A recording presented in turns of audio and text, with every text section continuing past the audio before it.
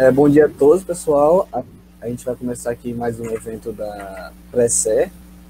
E hoje a gente vai começar com um mini curso de microredes. Certo? Vanderlei. É, o, nosso, o, o, nosso palestrante será o Vanderlei Silva. O, o mini curso será dividido em dois dias, hoje e amanhã também, às 9 horas do mesmo horário. E além dele, ainda terá na sexta-feira uma mesa, um, mini curso e uma mesa redonda, certo? Então, conto com a atenção de todos e se quiser iniciar, Vanderlei, fique à vontade, viu? Ok. Ok, obrigado. Bom, bom dia a todos é, aí da universidade. Espero que todo mundo esteja bem aí. É, apesar da esse ano difícil que a gente está passando aí com a Covid, né? Meu nome é Vanderlei, eu sou engenheiro eletricista e pesquisador do Instituto Gnaros, é, também sou doutorando na Universidade Federal do Paraná, é, na área de microredes. Então o curso é o curso deve falar sobre os desafios de microredes na integração de energias renováveis. Ok? É, esse curso ele tem o apoio da Associação Brasileira de Microredes, que se vocês quiserem saber mais informações, basta acessar o link ali de microredes.org.br.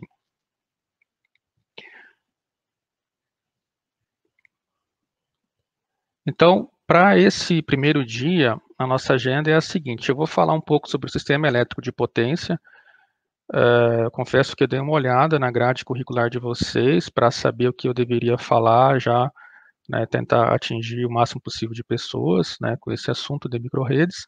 Então, eu tenho que falar um pouco sobre como funciona o sistema elétrico de potência para depois a gente entrar no assunto de microredes. Tá?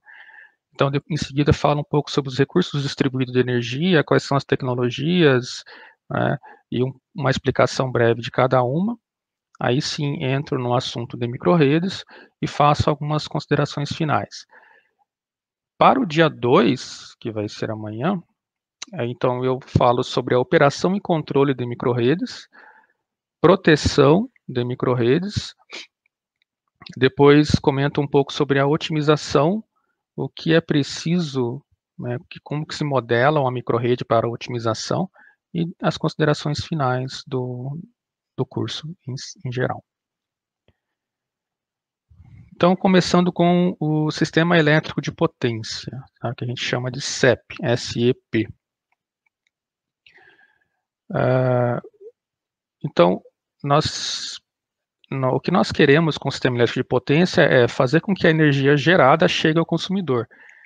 É isso que está representando essa linha pontilhada. Mas para que isso aconteça, eu tenho que ter vários sistemas no meio, né? que é o sistema de transmissão e o sistema de distribuição junto com o sistema de geração.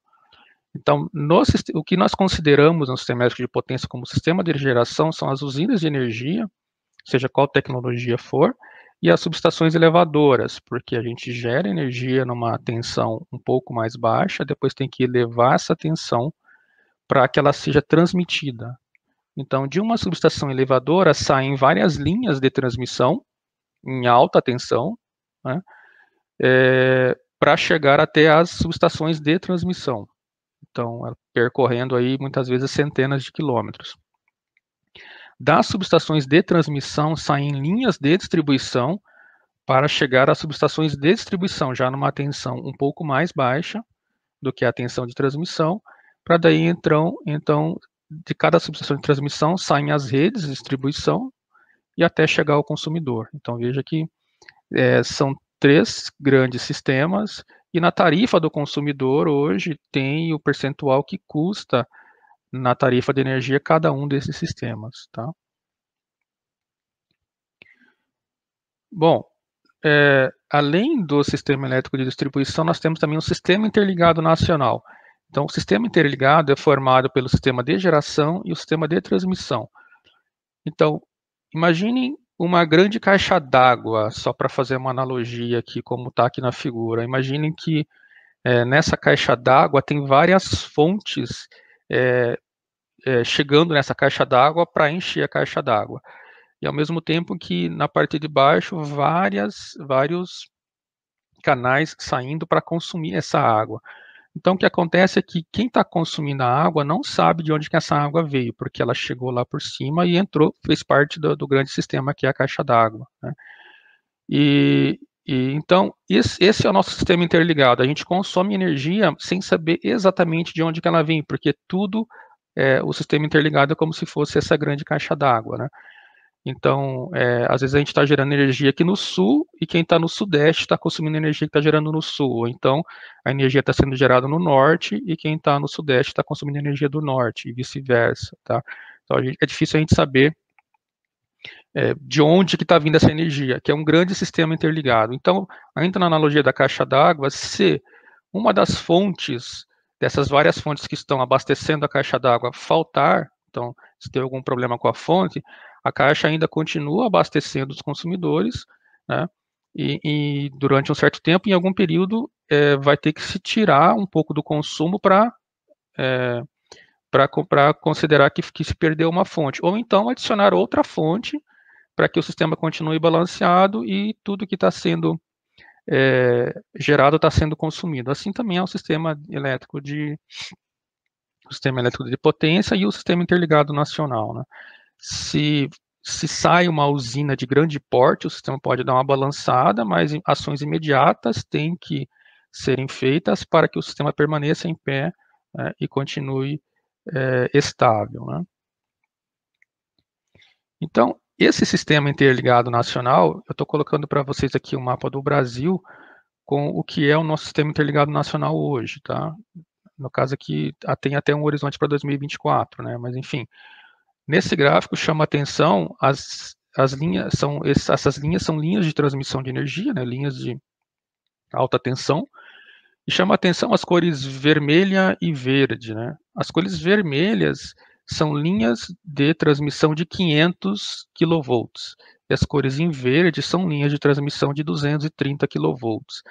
Então, posso garantir para vocês que nesse exato momento tem várias pessoas olhando para todas essas linhas de transmissão para cuidar, é para supervisionar essas linhas, para ver se está tudo certo, se nada de errado está acontecendo, tá? Que é o que tá, eu estou apontando aqui nessa figura, né? É, é exatamente é como essa figura mostra. Né? Você tem um grande sistema que precisa ser supervisionado. Então, no fundo ali tem um quadro que a gente chama de video wall, onde essas linhas de, de transmissão que a gente está vendo aqui na figura do mapa, elas são desenhadas aqui nesse quadro. E cada evento que acontece no sistema soa um alarme para esse operador aqui, que ele tem que verificar o que está acontecendo e tomar alguma atitude. Então, 24 horas por dia, a gente tem a operação do sistema olhando num sistema sofisticado de supervisão e controle, né, para tomar as decisões para que não haja um blackout, por exemplo. Além disso, é, é muito é um sistema como esse, com poucos cliques, você pode derrubar uma cidade inteira, pode desligar uma cidade inteira, porque você consegue dentro de uma sala operar essa linha em qualquer lugar do país, por exemplo. Desculpe não é só um centro de operação, tá? São vários centros de operações, mas você consegue desligar um grande centro de consumo a partir desse sistema. Então, é um sistema que tem que ser muito bem protegido com relação à cibersegurança, porque um ataque a um sistema como esse pode deixar, por exemplo, uma grande região do país sem energia, né? E quem opera, de fato, todas essas linhas de transmissão aqui hoje no Brasil é o Operador Nacional do Sistema Elétrico, que a gente chama de ONS, é um órgão que está dentro da Agência Nacional de Energia Elétrica.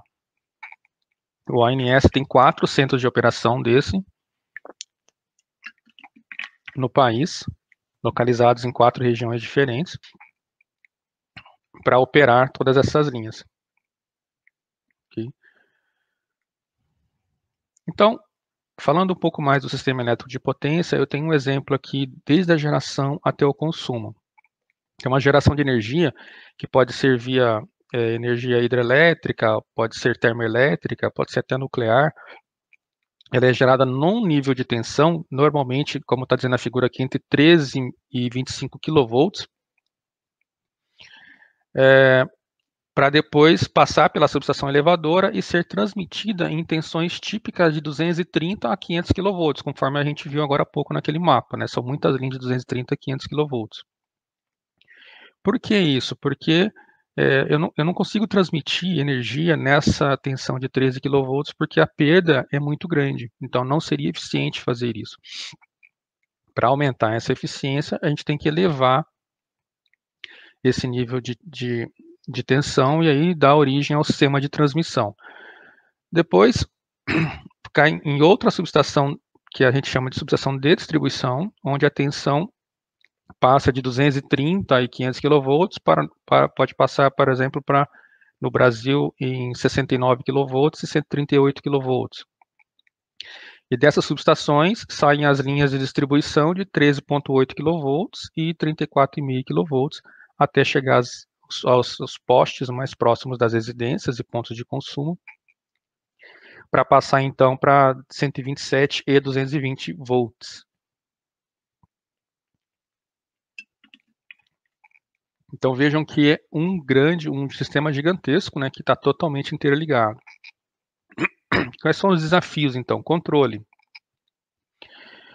É, Para que a tensão chegue na nossa casa em 127 volts ou 220 volts, para que a frequência da energia que chega na nossa casa esteja exatamente em 60 Hz, como é no Brasil, tem que haver controle.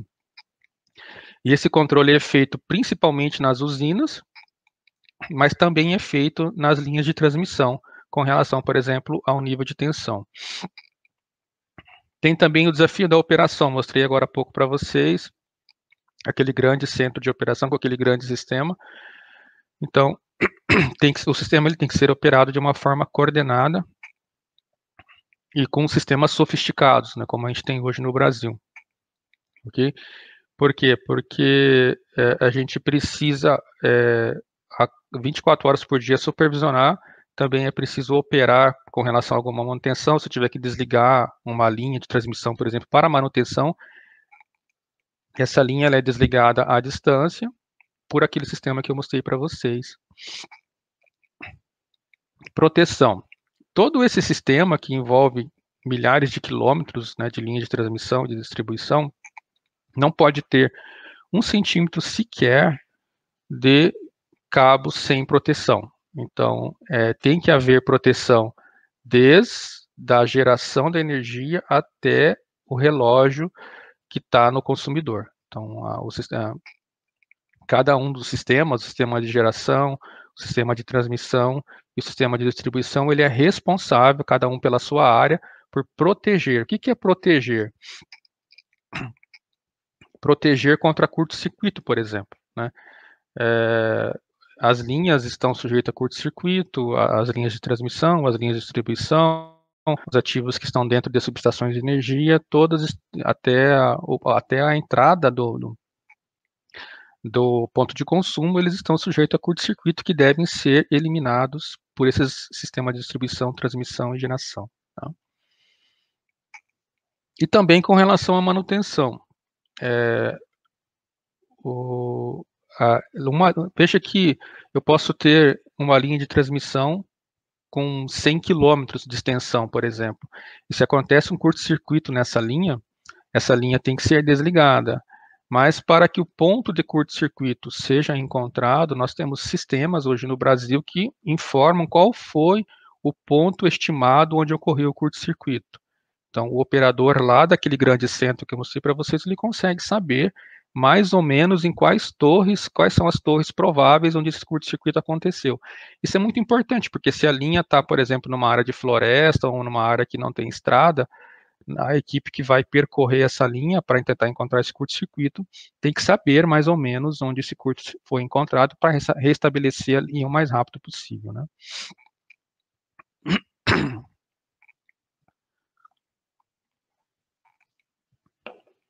Então, o sistema elétrico de potência é composto por geração, transmissão e distribuição, como já mostrei para vocês. Com relação aos consumidores, nós temos os consumidores industriais, que podem, em alguns casos específicos, estarem ligados direto ao sistema de transmissão, que são grandes indústrias, né, indústrias de grande porte, mas na maioria das vezes eles estão ligados ao sistema de distribuição. E os consumidores residenciais, comerciais, rurais, né, e poder público também ligados ao sistema de distribuição. Então percebam que até, é, até então o fluxo da energia era da geração, passava pela transmissão, distribuição até chegar ao consumo.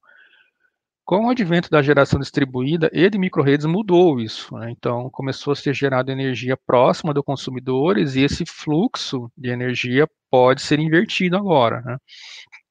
Então eu posso ter geração distribuída e microredes que pertencem ao sistema de distribuição e eu posso ter geração distribuída em microredes que estão dentro das instalações dos consumidores que, portanto, então, não pertencem ao sistema de distribuição. Né? Isso está trazendo grandes desafios para os sistemas de, as operadoras de sistema de distribuição no Brasil e no mundo, né? Então, com relação a, ao sistema elétrico de distribuição, é, que eu mostrei para vocês agora há pouco, aquele grande centro de operação, onde tem o video wall, que é aquele é, vídeo grande que está na parede lá, é, representando as linhas. Para o sistema de distribuição também existe centro, também existem centros de, de operação, centros de operação desse tipo, só que vejam, é, para o operador da distribuição é importante saber onde, onde estão passando exatamente as linhas de distribuição e da rede de distribuição. Então imagina uma cidade como essa, onde em todas essas ruas que a gente está tá vendo aí no, no, na foto, nós temos linhas de distribuição. Se acontece algum problema em algumas dessas, em alguma dessas linhas, o operador tem que saber onde esse problema está e geograficamente ele tem que saber a localização exata. Então, esses sistemas eles costumam ser georreferenciados. Então, tem uma camada georreferenciada, como se fosse um Google, por exemplo, onde o operador do centro de operação consegue enxergar as linhas, os transformadores, enfim, todos, todos os ativos que pertencem ao sistema de distribuição. E para poder, eu aqui nessa tela eu mostro, nesse slide eu mostro uma tela típica de operação do centro do sistema de distribuição, onde aqui à direita eu tenho é, a, parte, a localização georreferenciada das linhas. Então, veja essa linha que está em laranja, por exemplo, ela está seguindo aqui, aparentemente, ruas dessa cidade, desse bairro que está aqui, né? E essa mesma linha em laranja está representada do lado esquerdo aqui, é, numa visão mais ortogonal, mais parecida com aquela que estava no sistema de transmissão, é, onde efetivamente o operador do sistema pode é, abrir ou desligar ou ligar uma linha dessa, né? Mas ele tem, ele pode ter então as duas visões. O mesmo acontece com esse circuito que está aqui em Cian, né? é, então fazendo tendo essa visão então georreferenciada e também nesse momento 24 horas por dia tem operadores do sistema de distribuição olhando para esse sistema, verificando os alarmes, é, despachando equipes para corrigir defeitos na rede e assim por diante. Tá? Bom, então, é, eu represento aqui nesse slide para vocês um sistema típico de distribuição de energia. É, olhando aqui mais à esquerda, onde eu estou representando a geração e transmissão, percebam que a, a transmissão de energia ela ocorre é, de uma subestação para outra né, sai uma linha de transmissão de uma subestação e chega essa linha de transmissão em outra subestação e no meio do caminho não há nenhuma conexão. Então, é uma, uma, uma é, ponto a ponto, vamos dizer assim, né? Então, há geração de energia, aqui eu tenho a linha de transmissão, aqui eu tenho uma subestação já é, chegando com essa linha esse símbolo aqui de dois círculos é o símbolo de um transformador. Então, se desse lado aqui eu tenho 230 kV, passa pelo transformador, desse lado eu tenho 13.8 kV, tá? Começando aqui, então, o sistema de distribuição de energia. Agora, notem que o sistema de distribuição não tem esse comportamento bonitinho como as linhas, né? Sai de um ponto específico e chega no outro, sai de uma subestação e chega na outra. Ele é, é malhado, né? É, ou em raiz, como a gente fala. Então, sai pela rua e da rua ele vai se ramificando até atingir todos os consumidores daquele circuito. Então, nessa figura, o que está em esse quadrado representa um elemento de secção. Pode ser um disjuntor, por exemplo, para ligar e desligar esse alimentador de distribuição que sai aqui em 13.000, em 13.8 kV. E no meio da rede de distribuição também tem, posso ter outros disjuntores ou religadores automáticos de energia para também fazer essa secção. Além disso, há outros que eu não estou representando aqui, que são operados de forma manual para poder é, isolar um trecho da rede de distribuição para que ela sofra uma manutenção e depois retorne, ou então ligar esse trecho com outra subestação. E nessa figura também eu represento é, um, a parte da geração distribuída com um sistema, uma planta solar aqui, por exemplo, ligada em 13.8 kV, aqui uma indústria, aqui um sistema de armazenamento de energia também ligada em média tensão, 13.8 kV. Né? Esse símbolo é, que está aqui são dois círculos em verde também são transformadores, mas são transformadores desses de poste que a gente está acostumado a ver, que transformam de 13.8 kV a 220 volts ou 127 volts, né? Então, essa linha que está em azul aqui já é a linha de baixa tensão que está chegando até o ponto de consumo de cada residência. Então, é, veja, numa, é, numa rede, num sistema de distribuição de energia como esse, a pergunta é a seguinte: existem microredes nesse sistema que eu estou representando, né? É, eu sei que tem é, geração distribuída, tem armazenamento de energia, né? Tem é, tem veículo elétrico e tudo mais. Existem microredes? Essa aqui é a pergunta, né? Então, olha, digo para vocês que existem. Essa casa, por exemplo, que contém geração distribuída, geração solar e armazenamento de energia, pode ser considerado uma microrede, ok? Mas não só isso é, toda essa parte de baixa tensão que está em 220 volts, contendo várias casas, contendo armazenamento de energia, casas com geração solar, sem geração solar, também pode ser uma microrede. Ok? Além disso, olha, nessa parte aqui da rede de distribuição que está em 13.8 kV, 13.8 kV, onde tem uma planta solar, tem um grande sistema de armazenamento, tem indústria, também pode ser uma microrede, ok? Ou então, seguindo o mesmo princípio, esse, esse trecho aqui da parte de 13.8 kV pode ser outra microrede. E claro, todo o alimentador partindo da subestação, né, como está representando esse disjuntor aqui, ele também pode ser uma microrede. Então fica, eu é, quando me deparei com isso pela primeira vez, fiz a seguinte pergunta, tá bom, qual é a diferença entre geração distribuída ao longo da rede e microrede? Né? Essa é a grande pergunta. Então, para responder essa pergunta, eu vou falar um pouco de recursos distribuídos de energia e depois a gente volta nessa figura. Então, olha, o que, que a gente chama de recursos distribuídos de energia? É geração distribuída, sistemas de armazenamento de energia e cargas controláveis. Eu vou passar, então, um pouco mais detalhado cada um desses recursos distribuídos de energia. Então, o que é geração distribuída? Segundo a ANEEL, né, tá no, isso está no PRODIST, que é um documento que as distribuidoras têm como referência, é, geração distribuída são centrais geradoras de energia elétrica de qualquer potência, com instalações conectadas diretamente no sistema elétrico de distribuição, ou através de instalações de consumidores, podendo operar em, em paralelo ou de forma isolada e despachadas ou não pelo ONS. Bom, então percebam, geração distribuída, ela tem que estar conectada no sistema de distribuição. E a gente sabe que o sistema de distribuição, ele tem níveis de tensão que o caracteriza como sistema de distribuição. Então, olhando aqui para essa figura que está ao lado, é, eu tenho aqui vários níveis, de várias faixas de tensão, né? A primeira faixa aqui é até 1 kV, mas né, tipo, isso é chamado de baixa tensão de distribuição, que eu chamo aqui de LVD. Tipicamente a gente tem hoje no Brasil 127 volts e 220 volts. Tá?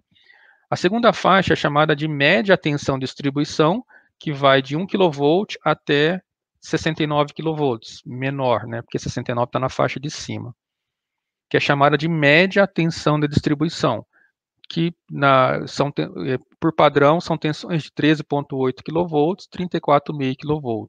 Tá? E a terceira faixa, alta tensão de distribuição, que são tensões de 69 kV e 138 kV por padrão no Brasil. Então veja, essas tensões que eu acabei de falar para vocês são tensões de distribuição. E para a conexão da geração distribuída ao sistema de distribuição, como está aqui na definição, para saber onde que eu vou conectar, onde que é permitido conectar, né, segundo a ANEEL, eu tenho que saber qual é a potência. Então, para potências abaixo de 75 kW, que a gente chama de microgeração distribuída, é, é obrigatória a conexão no sistema de baixa tensão, 127 220 volts.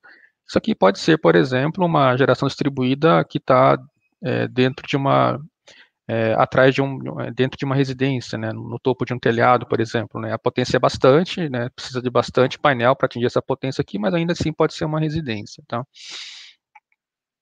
Para a geração distribuída entre 75 kW e 500 kW, que já é uma potência bem mais elevada, pode ser conectada tanto na baixa tensão quanto na média tensão. Então, aqui até 500 eu já posso pensar em conectar em numa, num ponto de 13,8 kV, por exemplo.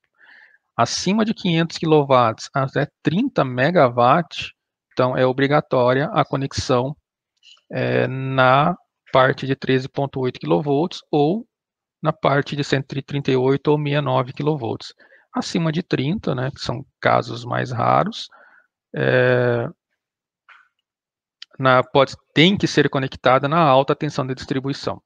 Então, veja, sempre conectando no sistema de distribuição e ela pode operar em paralelo ou de forma isolada. Operar em paralelo significa operar conectado ao sistema de distribuição.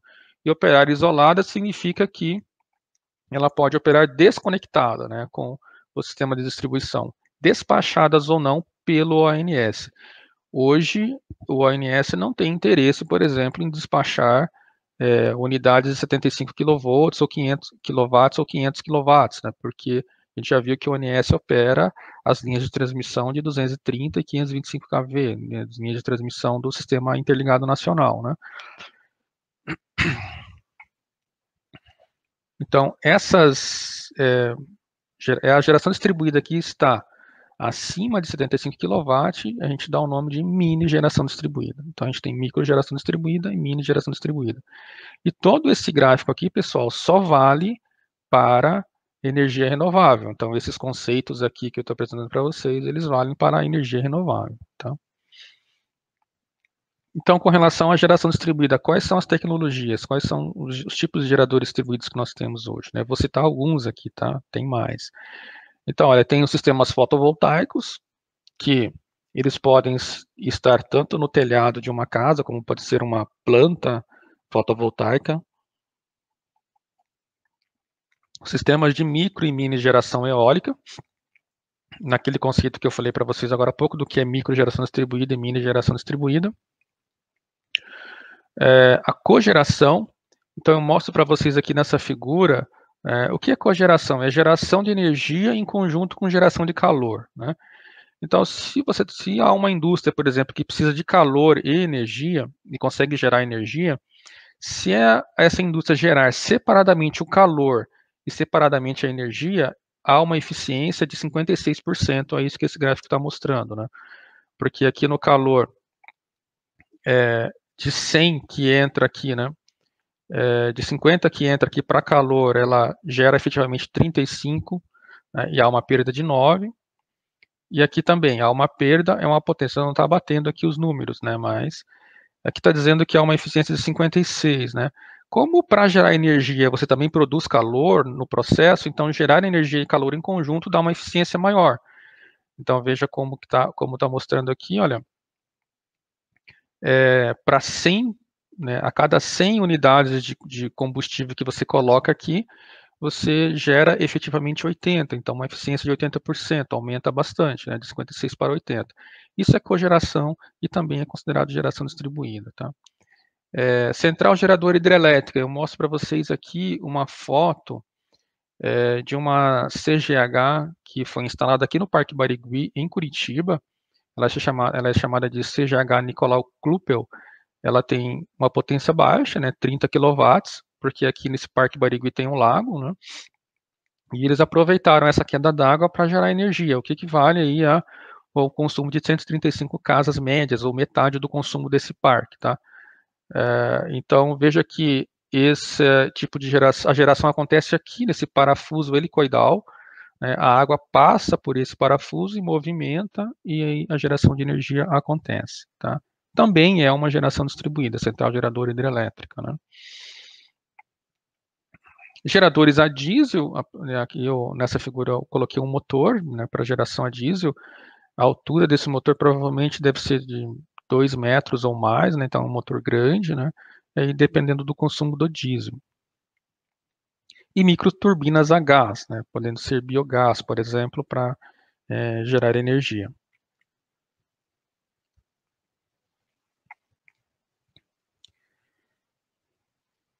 Bom, quais são os desafios relacionados à geração distribuída? Então, é, aqui eu vou falar da geração distribuída com relação à é, geração solar e eólica, que a gente chama de é, fonte de energia intermitente, né?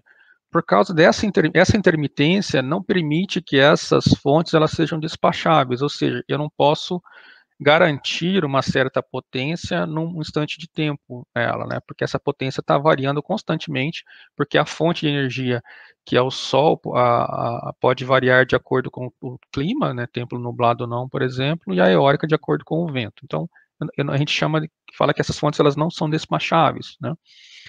E, só que essa intermitência ela pode ser prejudicial ao sistema interligado. Né? Então, quanto que o sistema elétrico de potência consegue acomodar de penetração desse tipo de fonte, né? Então, a gente é, gostaria que tivesse muita geração solar e eólica, porque são fontes renováveis, né? Gente, isso seria benéfico, por exemplo, para o, né, em relação à parte ambiental. Porém, quanto maior a penetração dessas, dessa geração no nosso sistema, o nosso sistema pode ser prejudicado a ponto de acontecer um blackout, por exemplo, né?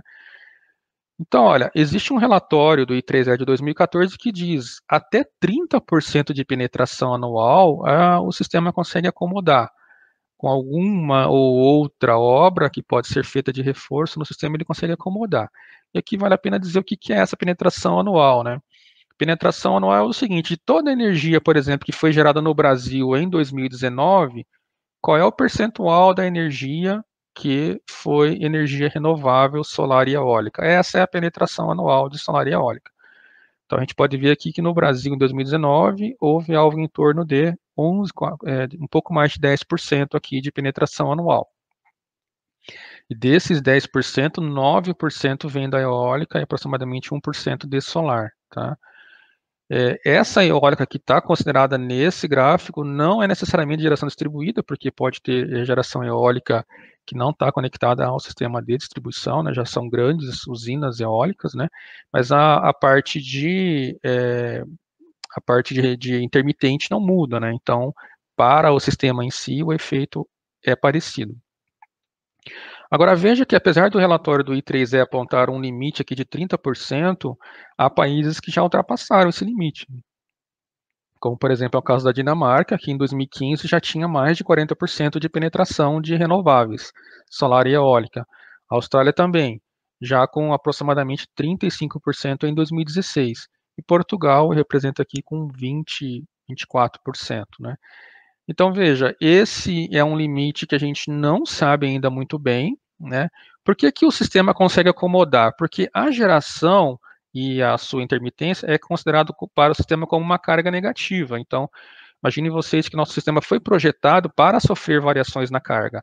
Ora o consumidor é, liga o seu eletrodoméstico, ora a indústria liga seus motores, enfim, ora o comércio liga suas máquinas, então há sempre uma variação nesse consumo e durante o dia essa variação ela pode ser grande.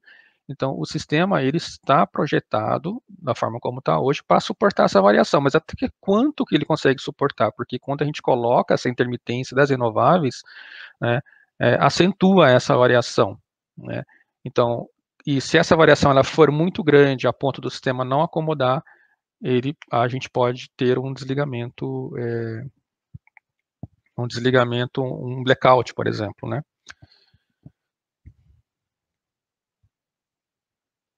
Então, olha, é, ainda falando sobre isso, a, a parte de penetração instantânea. Então, eu falei penetração anual, agora penetração instantânea significa durante um, durante um, um momento, né, agora, por exemplo, da, de toda a energia que está sendo gerada, né, quantos por cento dessa energia é de renováveis, é de solar e eólica, né, e quanto por cento é do restante, que é o restante, estou considerando como fonte despachável, né, como já é a nossa tradicional.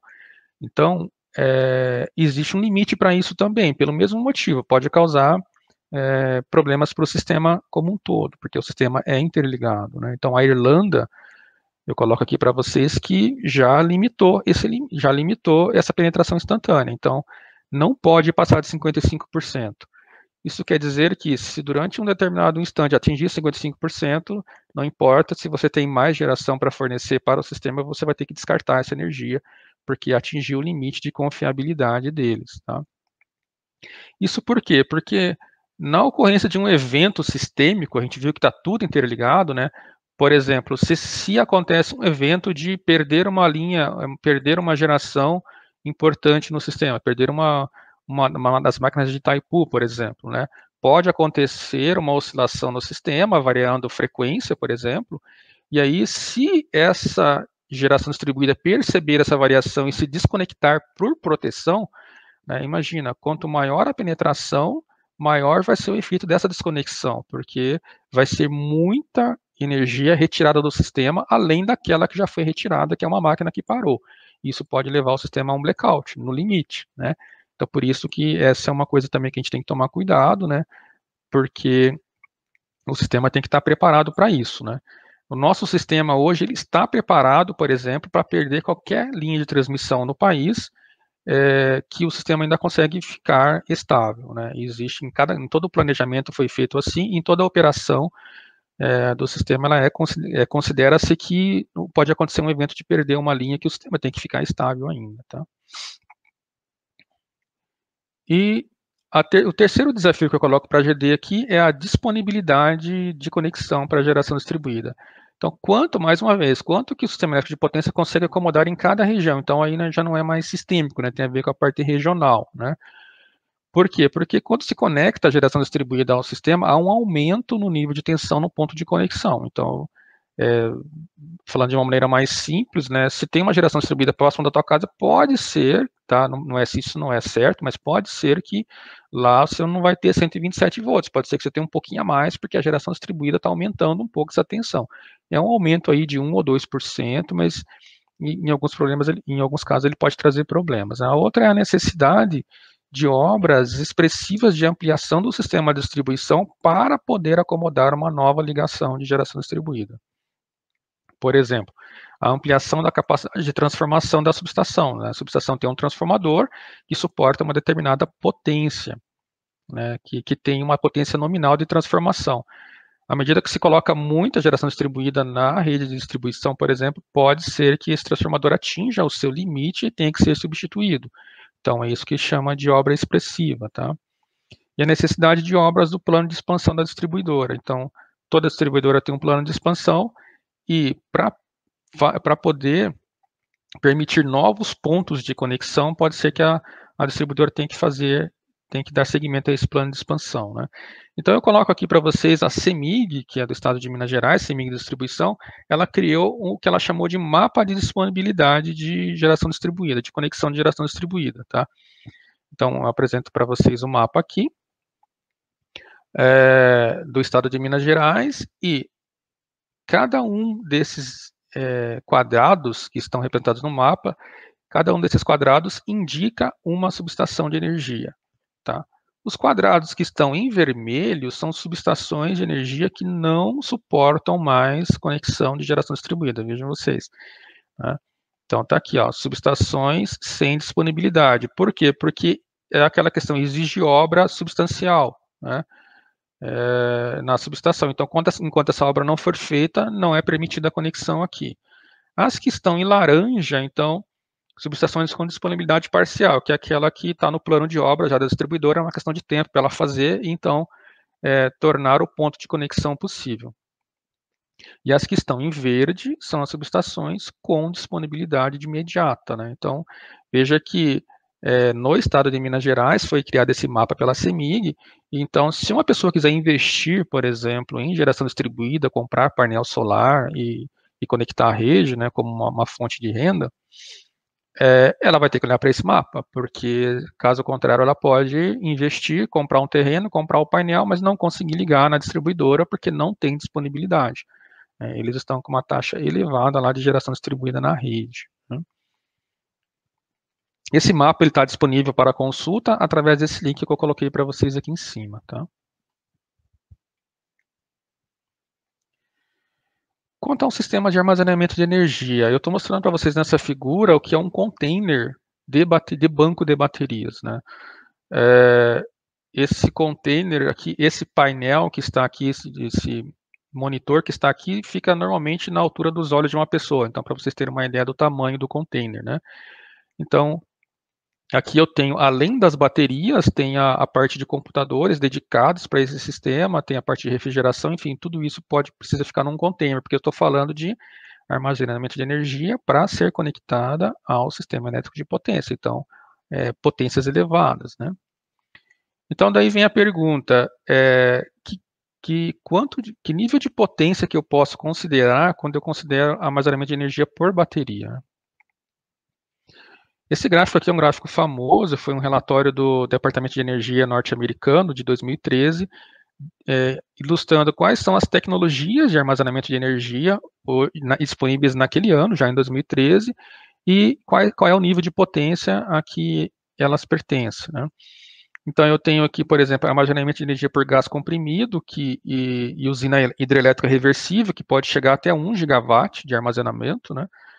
Mas com relação a baterias, olha, eu tenho desde uma faixa aqui de 1 kW até uma faixa de 10 MW. Para vocês terem uma ideia, 10 MW, é, até passa aqui, né, tá, já está aqui próximo aqui de 60 MW para algumas tecnologias de bateria. Então, olha, 10 MW pode abastecer uma cidade aí em torno de é, 10 mil pessoas, por exemplo, né, um bairro de 10 mil pessoas, por exemplo, para você ter uma ideia da ordem de grandeza do que, é, do que são esses tipos de bateria. Então, por isso que elas ficam em containers, né, e, e tem que ter todo um sistema eletrônico dedicado para controlar essas baterias, tá?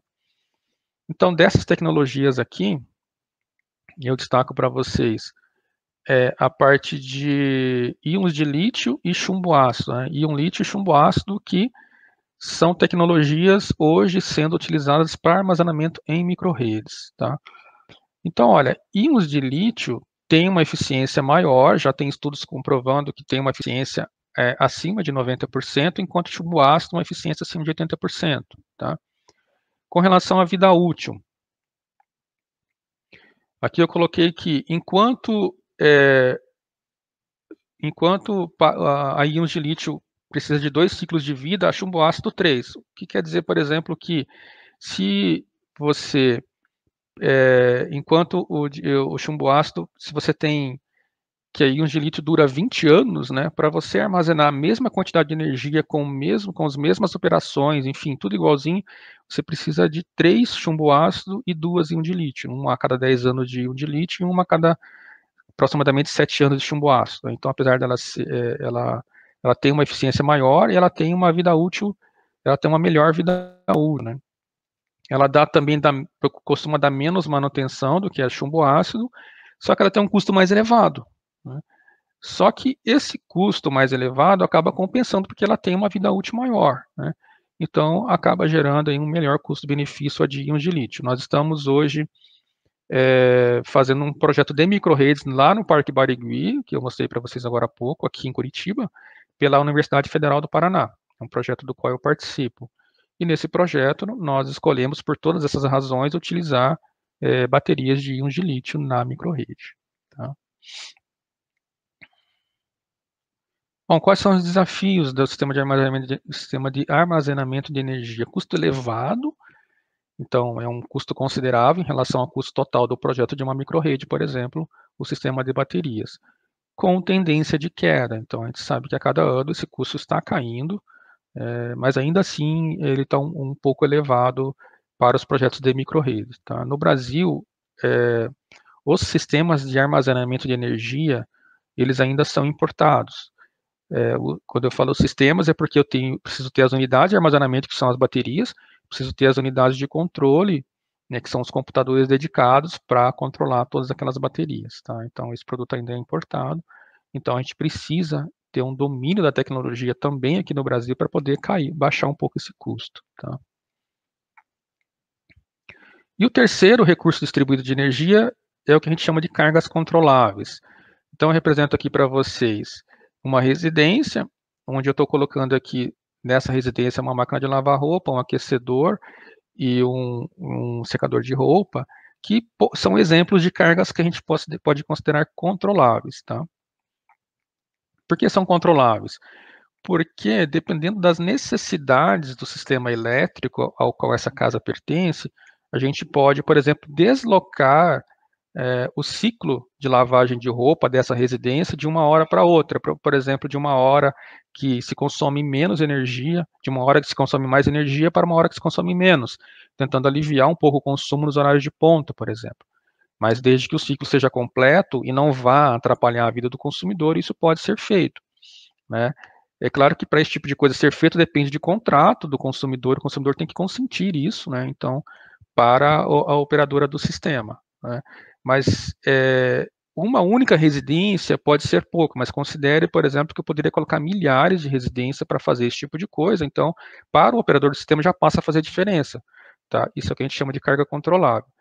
Carga deslocável. E as cargas interrompíveis são cargas, por exemplo, como aquecimento, ar-condicionado, secador de roupa. Veja aqui, no momento crítico do sistema, onde eu tenho pouca geração e preciso de mais geração e não tenho como é, é, não tenho recurso para isso, eu posso é, partir para esse recurso de cargas interrompíveis. Então, posso interromper, por exemplo, a refrigera a, o aquecedor ou o ar-condicionado durante meia hora, né, até que esse, esse período crítico passe, mais uma vez, somado esses, esses aquecedores, esses ar-condicionados com muitas residências, passa sim fazer diferença para o sistema que é, que é, o que a gente chama de resposta pelo lado da demanda, né? Aqui especificamente carga controlável, tá? Então também é um recurso que hoje já está sendo utilizado, por exemplo, a Austrália é um país que eu sei que utiliza isso, já com, com contrato de consumidores, com o que eles chamam lá de varejista, para é, deixando a carga disponível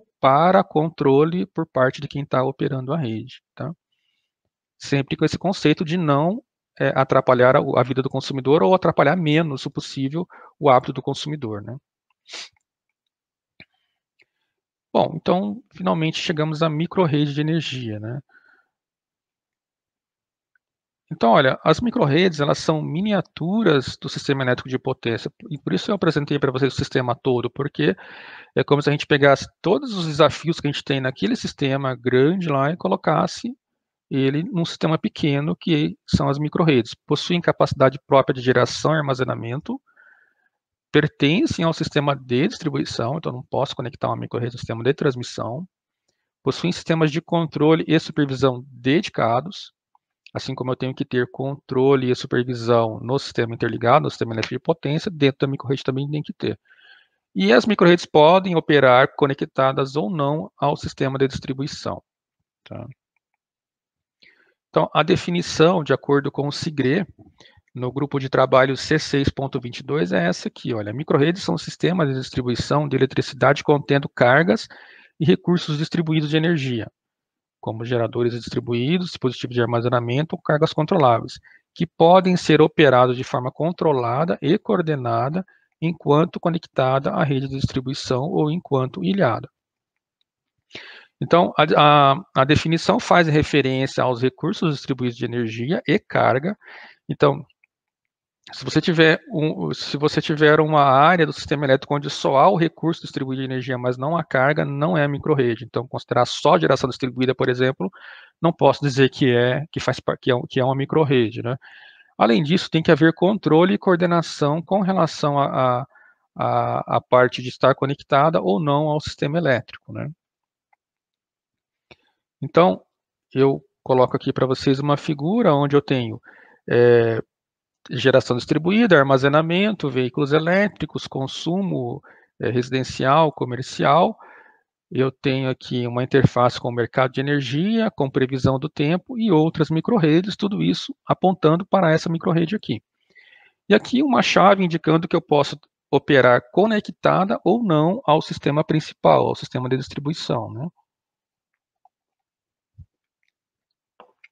Por que, que eu preciso ter um sistema de previsão de tempo na microrede? Porque eu preciso prever, por exemplo, a velocidade do vento e preciso prever a incidência de raios solares para saber, por exemplo, quanto que eu vou quanto que eu posso gerar, estimar, né, quanto que eu posso gerar de potência no dia seguinte, por exemplo, na microrede com esse tipo de geração, tá? Tem também essa interface aqui com mercado de energia, porque a microrede, nos mercados mais avançados, ela já possibilita a transação comercial de energia entre microredes e entre consumidores que sem passar, por exemplo, pelo, pelo sistema principal, né, sem passar pelo operador do sistema de distribuição. Né.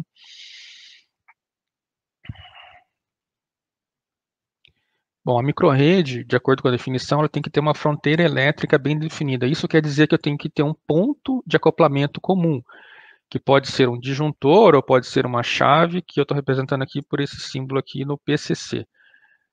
Por quê? é, tem que ter uma fonte elétrica bem definida, porque eu posso querer trabalhar ilhado, posso querer operar essa microrede de forma ilhada. Se eu tiver que operar de forma ilhada, então eu tenho que abrir esse ponto de, de acoplamento aqui e não estar mais conectado ao sistema de distribuição, ao grid principal. E todos esses ativos que estão aqui dentro, de geração, armazenamento e carga, estarão trabalhando somente nessa área elétrica aqui. Então, eu posso até ter mais um ponto de conexão, mas se eu resolver trabalhar ilhado, eu tenho que abrir todos os pontos de conexão, então ficando uma fronteira elétrica bem definida. Então, olha, respondendo aquela pergunta, né, a diferença entre microrede e geração distribuída ao longo da rede, né, é que a, a microrede, ela tem que, a, a microrede, ela tem geração distribuída dentro da área da microrede, só que ela tem que ser controlada. Por quê? Porque a partir do momento que eu faço a desconexão com o grid principal, toda a geração da microrede vai ter que ser controlada de tal forma a garantir a qualidade de energia dentro da microrede, garantir um nível de tensão adequado nas instalações do consumidor, garantir aquela frequência de 60 Hz também nas instalações e garantir que qualquer problema interno que eu tenha de um curto-circuito ou coisas do tipo, que a microrede tenha também a sua estabilidade para continuar fornecendo energia desligando a menor área possível, por exemplo. Então, é preciso que haja controle. Veja que nessa figura eu tenho é, uma, uma, planta solar, um armazenamento de energia, uma planta eólica, mas tudo controlado pela microrede, de tal forma que eu posso que, fazer a desconexão e a qualidade de energia que permanece, porém de forma ilhada. Por outro lado, aqui fora da microrede, eu tenho também os mesmos recursos, só que eles não são controlados. Então, se ocorrer um evento no sistema é, de que houver a, a, que há um evento que haja um desligamento numa subestação de energia, por exemplo, tudo que estiver conectado de direção distribuída naquele circuito vai ter que ser desligado, como esse caso aqui. Se tiver uma, uma um desligamento de subestação que, no qual essa planta solar está conectada ao longo da rede, ela vai ter que desligar até que volte a energia por parte da subestação. Por quê? Porque não há controle, não tem como garantir a qualidade de energia para os consumidores que estão conectados aqui depois dessa geração. Já na microrede, não, o controle existe. Né? Então, voltando naquela questão anterior, nesse, nesse sistema de distribuição, existem microredes? Se existem, por quê? Né? Então, é, aqui eu havia dito para vocês que essa casa poderia ser uma microrede, por quê? Porque o próprio é, relógio que está aqui, né, o medidor, ele pode ser um elemento de desconexão, pode ser um, um medidor inteligente, né, que ele faz a desconexão com o sistema de distribuição e passa a existir uma microrede com controle de frequência, controle de tensão aqui interno, mantendo a qualidade de energia desde que haja armazenamento e junto com a geração solar, nesse caso, porque aqui é uma geração intermitente, né, então precisa de um controle, tá? Além disso, então, tem, tem que existir um ponto de desconexão, que é o próprio medidor inteligente. Além disso, toda essa área de 220 volts aqui, que depois desse transformador, também pode ser uma microrede, porque eu tenho aqui também um ponto de desconexão, que é um disjuntor aqui que eu posso abrir e operar ilhado. Desde que, é claro, tudo isso aqui esteja projetado para isso. Né? Tem que haver um controle aqui é, e tem que haver um operador aqui também, né, para operar isso daqui, para manter a qualidade de energia. Então, vale o mesmo raciocínio para as demais microredes que eu apontei, né, aquela microrede que está aqui conectada ao sistema de média tensão também. Como tem aqui um ponto de desconexão, toda essa área pode ser uma microrede, desde que haja o controle. No momento em que desconectar aqui, esse controle tem que garantir a qualidade de energia aqui. Além disso, todo o alimentador de distribuição que parte da subestação também pode ser uma microrede, tá? desde que haja controle, né, para manter a qualidade de energia. E baseado nesse, é, nessa, nesse sistema que está aqui, que é demonstrativo, é, a Copel, ela publicou uma chamada Copel, é a companhia distribuidora de energia daqui do Paraná, tá? É uma distribuidora com cerca de é, 4 milhões de consumidores. É, ela publicou uma chamada pública para é, contratar microredes no sistema de distribuição dela. Por quê? Porque Nesse mapa que eu mostro para vocês aqui, esse é um documento público, tá? Quem quiser acessar, tem, pode acessar, tá? No, é só fazer uma busca pela chamada pública da Copel 01 2020. Tem o mapa do Paraná aqui, e a Copel ela apontou nesse mapa quais são as regiões mais críticas para ela, quais são as regiões onde é, existe mais desligamento de energia, então ela tem um índice de desempenho inferior, né? São os pontos críticos aqui para desempenho. E, dado que ela identificou esses pontos críticos, ela quer contratar microredes para que essas microredes sejam instaladas nesses pontos específicos, para que, se caso haja um desligamento do sistema principal, essa microrede assuma esses consumidores, ou parte deles, né, para que diminua, então, esse impacto de desligamento e melhore os índices dessas regiões. Né. Então, baseado naquilo que eu falei para vocês, que dependendo da potência que essa microrede vai ser, essa microrede, que pode ser instalada, ela pode ser instalada numa região como essa, né? Ou pode ser instalada numa região como essa, já uma potência maior, pegando o sistema de 13.8 kV, ou até mesmo pegando todo um alimentador de distribuição. Isso vai da potência, por quê? Porque eu tenho que, é, essa microrede tem que ser inserida no sistema, e quando houver um desligamento, ela tem que suportar todas as cargas que estão dentro daquela área que ela foi inserida. Então, o ponto de conexão que, que deve ser escolhido deve ser de acordo com a potência da microrede que ela pode fornecer e de acordo com os consumidores que estão localizados ali. Então, essas microredes nessa chamada pública devem estar com potência entre 1 MW até 30 MW. E a gente considera que são potências elevadas para microrede, né? E a Copel, nessa chamada pública, disse o seguinte: olha, se vocês colocarem as microredes aqui onde eu quero, eu compro a energia de vocês, faço um contrato de cinco anos, por exemplo, comprando toda a energia que for gerada pela microrede, desde que quando eu precisar eu consiga utilizar a sua microrede para abastecer os consumidores que, que estariam prejudicados aqui no momento de desligamento, por exemplo. Ok? Então, existem várias vantagens que são comumente atribuídas a microredes. Aqui eu estou apontando oito e eu vou comentar cada uma delas em seguida. A primeira que eu coloco é entregar, integrar fontes renováveis.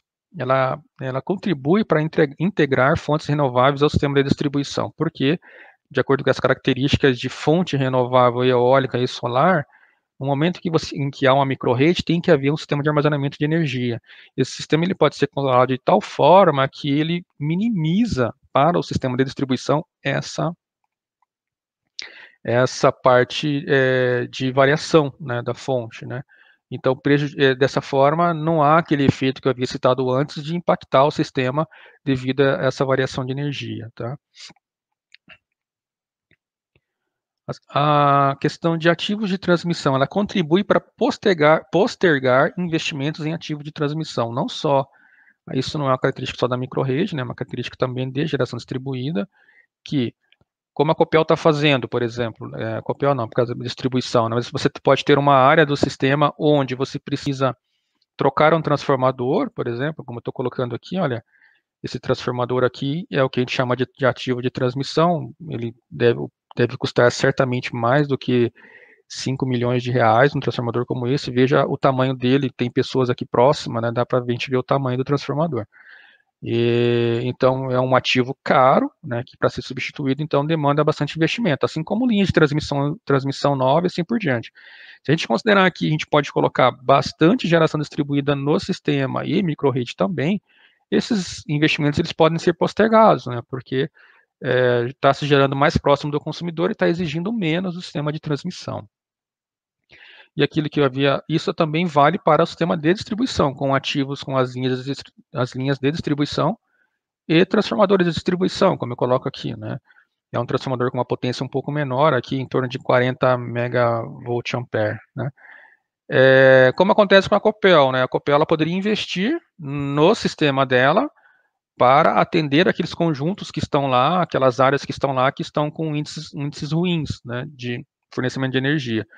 Porém, ela, ela, ela resolveu investir em microredes ao invés de investir nos ativos, que pode ser que compense mais você investir nas microredes e postergar né, um investimento nos ativos da distribuição, comprar outros transformadores, aumentar as linhas de distribuição, é, redundância na linha de distribuição, assim por diante. Né. Melhorar a confiabilidade. Então, contribui para melhorar índices de confiabilidade DEC, que é a duração equivalente da interrupção por unidade consumidora do sistema de distribuição. Também é o que a Copel está querendo fazer, ela quer melhorar os índices, é, instalando microredes nas áreas críticas. Aqui eu coloquei para vocês dados da ANEEL, da concessionária Enel, do Ceará, que é a concessionária que está é, na área de distribuição aí do Ceará, é, o gráfico de desempenho de DEC, né? Então, aqui esse gráfico ele está em horas. Então, do mês 1 até o mês 12, a gente tem a quantidade de horas de interrupção por mês. Então, é uma, é uma por exemplo, aqui no mês de março, mês 3, houve aí, é, de forma equivalente, duas horas de interrupção na área atendida pela ANEL, segundo a informa a ANEL, né? Isso quer dizer o seguinte, que se você mora no estado do Ceará e não teve essas duas horas de interrupção, significa que alguém que está em outra região, dentro ainda do estado, dentro da área de concessão, dentro da área de concessão da Enel, teve mais do que duas horas, porque para gerar essas duas horas equivalentes, tá? E esses índices eles são fiscalizados de forma rigorosa pela ANEEL para é, forçar as distribuidoras a sempre melhorar esses índices de forma a atender melhor o consumidor, tá? Então, é, Aqui, olha, o anual, o, o que foi o, o DEC anual da ANEEL, segundo a, a, Agência Nacional de Energia Elétrica, foi de 14 horas aqui, né? E o, o a meta aqui estipulada era de 10 horas, né? Então veja que a rede, a, as microredes, elas podem contribuir para melhorar esses índices, como a Copel já está tentando agir aqui no Paraná para é, fazer esses índices de, é, reduzir esses índices reduzirem nas regiões específicas, né? Que vai com certeza impactar bastante nesse tipo de gráfico aqui, é, de mês a mês e no gráfico e, na, e no valor anual também, né? Diminuir a dependência de termoelétricas. Isso vale tanto no Brasil, né, a gente tem uma dependência de termoelétrica que complementa o nosso sistema de hidráulico, que é o de maior geração, né? Por quê? Porque a geração por termoelétrica ela é bem mais cara do que a geração hidráulica, né? A unidade gerada na termoelétrica é bem mais cara que a hidráulica. E também que vai poluir mais o meio ambiente, né? Então, eu coloco para vocês aqui nessa figura do, do canto superior direito, é, o que é uma termoelétrica, olha, torres de resfriamento de uma usina de carvão mineral na Alemanha.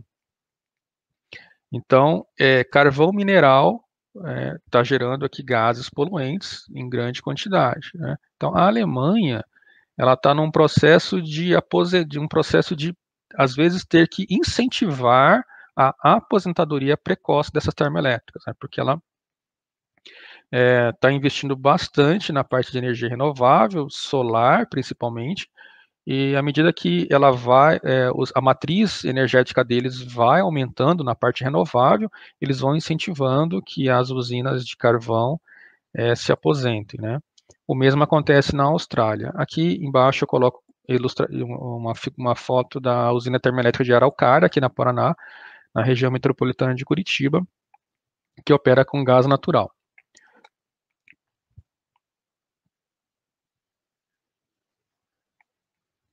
Parte de eficiência energética também é uma, uma vantagem também de microredes, né, atribuída a microredes e também a geração distribuída como um todo. Né. Então, nessa figura aqui, aqui de cima, é, está dizendo o seguinte, olha, de, de uma quantidade de energia gerada, apenas uma parte chega no consumidor, que é energia que é realmente faturada no consumidor. Né. Tem uma outra parte que se perde no meio do caminho. Se perde por quê? Porque tem perdas técnicas, que são perdas por aquecimento, nas linhas de transmissão e nos transformadores, e também perdas não técnicas, que são chamadas aqui, que, que perdas não técnicas dizer, pode dizer, por exemplo, furto de energia. Né? Então, essa parte de diminuir as perdas técnicas, é, o, ela, a, a, a, tanto a geração distribuída quanto as microredes, elas podem contribuir. Aqui embaixo eu mostro uma figura para vocês de um transformador de potência, né, um desses transformadores é, de grande potência que eu mostrei para vocês, e uma imagem térmica dele. Né. Vejam que a parte do topo aqui, porque aqui dentro está cheio de óleo, né, então esse óleo circula aqui dentro, e a parte do topo dele é a parte mais quente. Esse topo de óleo aqui, embora na figura aqui esteja na faixa aqui de 30 graus, esse topo de óleo pode atingir facilmente 90, 100 graus, né? Então, veja, todo esse calor é a energia que está sendo desperdiçada. Então, se com a geração distribuída ou com microredes passar menos energia por esse transformador, porque a geração está mais próxima do consumidor, ele vai também, é, vai haver aí uma, uma perda menor, né, devido a essa parte técnica que eu estou mostrando aqui na figura. Né. Com relação à resiliência, ela contribui para melhorar a resiliência do sistema de distribuição. Essa é uma parte importante. Eu coloquei uma foto aqui do lado, uma matéria, que eu deixo esse link aqui para vocês, que depois da, do acontecimento de Fukushima, em 2011, que foi um terremoto e um tsunami, né, é, o Japão ele resolveu investir bastante em microredes. Então, até nesse caso específico, já havia lá algumas microredes, e tem um caso é, de uma microrede que ficou durante houve aquele blackout né, de energia no país, na região afetada, e, houve, e teve uma microrede que, que conseguiu abastecer, por exemplo, cargas importantes, como hospitais na, na região. Né? Então, eles perceberam que depois disso era muito importante para eles investir em microredes devido à resiliência. O que, que quer dizer resiliência? Quer dizer o seguinte: olha, se eu não posso abastecer, se num momento de, de, blackout como esse, eu não puder abastecer todos os consumidores, pelo menos uma parte eu tenho que abastecer. Então, se parte continua funcionando e parte não, significa que você aumentou a resiliência. Né? Então, olha, é, o, inclusive na reportagem está dizendo o seguinte: é, muito se fala em energia inteligente, né? hoje é um termo muito comum, a energia inteligente. E eles dizem o seguinte: para nós aqui, energia inteligente é energia gerada próxima do consumidor né, por causa dessa necessidade que eles têm com relação a grandes desastres, né. Então eu coloco para vocês aqui o seguinte, ó, numa ocorrência dessa, que, né, de blackout devido a um desastre, eu não consigo utilizar a geração distribuída simplesmente. Eu consigo utilizar se ela estiver dentro de uma microrede. Por quê? Porque toda geração distribuída que está fora da microrede, então, estou falando aqui de geração distribuída da, da intermitente, né, eólica e solar, ela vai ter que ser desligada porque não há controle. Então, se tiver dentro da microrede, eu consigo utilizar e consigo aumentar a resiliência. Fora, não consigo. Tá? Isso é uma questão importante.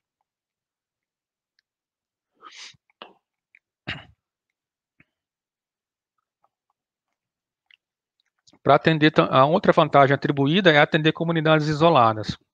Coloquei uma foto aqui para vocês de uma região no Canadá, em que há aqui né, uma área toda cheia de gelo e um painel solar, né? E ao mesmo tempo aqui embaixo, é, esses tanques enormes aqui são tanques para armazenar combustível, diesel. Né? Porque nessas áreas, é, nessas áreas aqui do Canadá e do Alasca, é, alguns períodos do ano é simplesmente impossível você chegar até essas pessoas, até a residência dessas pessoas, porque é por causa da neve, né? Então, eles têm que armazenar combustível, porque além de depender do combustível, eles não podem nem transportar esse combustível se por acaso ele faltar. Isso acaba gerando, muitas vezes, vazamento e prejudicando o meio ambiente, além de gerar uma dependência em si do combustível. Então, o que eles estão fazendo nessas regiões é investindo em microredes para tornar o sistema mais confiável e diminuir a dependência do diesel. Provavelmente eles não, provavelmente eles vão trabalhar ainda nessa parte mista, né, nessas microredes mistas, com diesel e, e com é, renovável, mas vai diminuir bastante a dependência.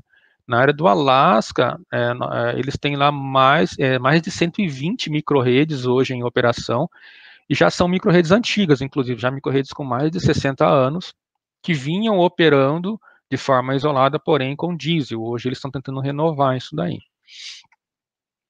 Então, essa parte de diminuir a dependência do diesel é bastante importante também. Então, olha, é, com relação à parte 2, então, nós vamos falar um pouco amanhã sobre a operação de microredes, com otimização, gestão de recursos, a parte de controle, de proteção e de manutenção. É, eu acho que eu já atingi aí uma hora e vinte né, de, da apresentação, previsto para uma hora e meia. Acho que a gente pode aproveitar esse tempo para esclarecer alguma dúvida ou alguma questão que tiver.